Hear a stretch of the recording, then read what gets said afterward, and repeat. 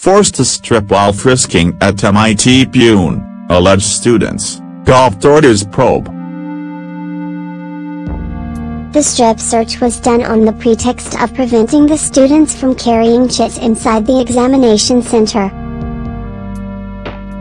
New Delhi, several female students appearing for Class 12 examination have alleged that they were asked to strip in the name of frisking before examination by the women staffer of Vishwashanti Gurukul, Maharashtra Institute of Technology in Pune. The strip search was done on the pretext of preventing the students from carrying chits inside the examination center.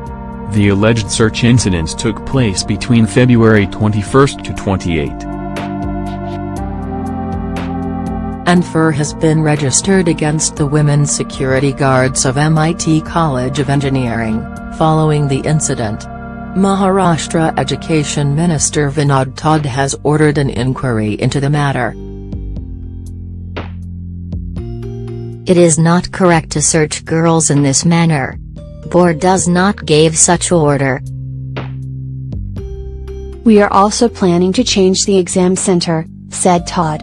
There were reportedly 219 students from Prithviraj Kapoor Memorial Junior College who had appeared in the examination.